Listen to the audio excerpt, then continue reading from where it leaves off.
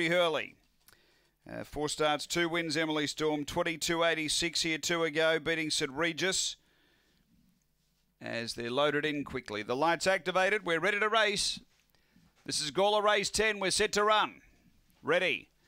On their way, good line out, speed near the inside. Dreambreaker came out quickly, headed off by Game of Bones, who darts away by three. Game of Bones clear down the back from Dreambreaker. Ollery passed by Victor Choco, then Emily Storm, and back at the tail, Mr. OK. The leader is Game of Bones, still by a couple on Dreambreaker. Out wider Emily Storm, but turning. It's Game of Bones doing it well. Clear down the running, and Game of Bones wins. Second is Emily Storm, third Dreambreaker, and fourth, I reckon, Mr. OK, just from Victor Choco. And Ollery back at the tail end. The time is around 23 seconds.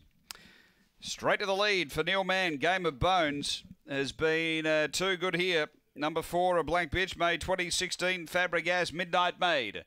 Number four, Game of Bones. Uh, seven, Emily Storm will grab second out wide for Judy Hurley. Uh, Brindle Dog, December 2015. Nolan Emily Chummer as we stand by for numbers. And uh, I think we had Dreambreaker back in there for third, number two. Uh, Vernon Anderson. A Blue Bitch, January 2016, Elite State, Kingsbray Ugly.